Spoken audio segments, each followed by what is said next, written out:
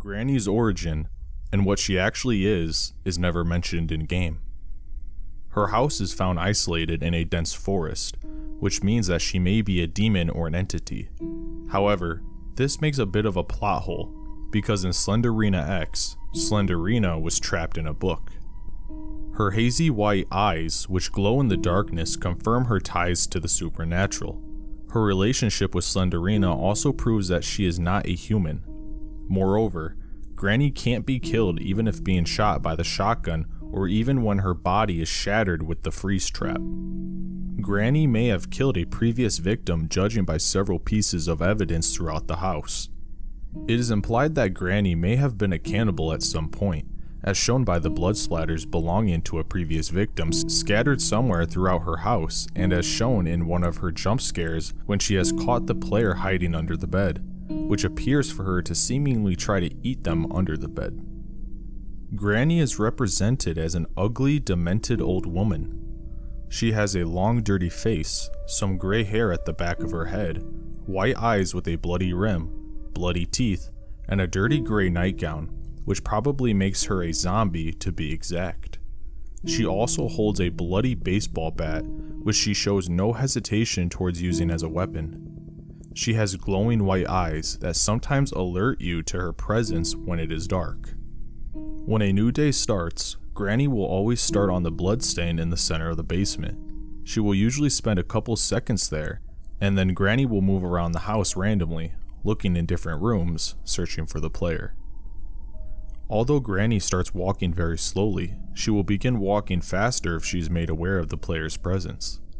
If a sound is made from either interacting with environmental hazards or dropping an item, Granny will immediately become aware of the exact position the sound was made and move towards it. Granny has varying eyesight dependent on a few factors. The easier the difficulty, the lower her base view range will be. Crouching will significantly reduce it. Additionally, it can be reduced even further by being inside of a hiding place, namely the crawl spaces that Granny cannot enter.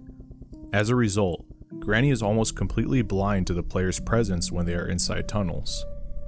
If she sees the player get into a tunnel, she will be unable to access them, but will stand and shake her head for a while, likely due to just missing out on catching them. If Granny spots the player, she will focus on finding the quickest way towards them regardless of where the most recent noise was made.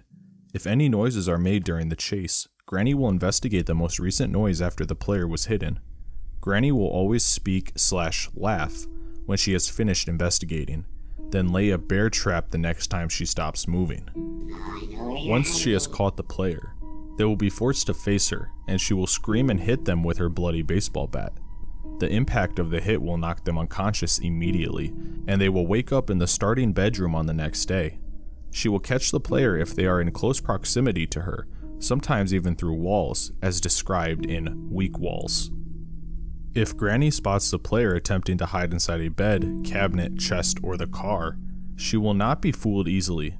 In the case of beds, she will attack them using an alternate jump scare animation where she drops to the ground and lunges at the player. In any other case, she will instead forcefully remove the player from their hiding spot before whacking them with her bat.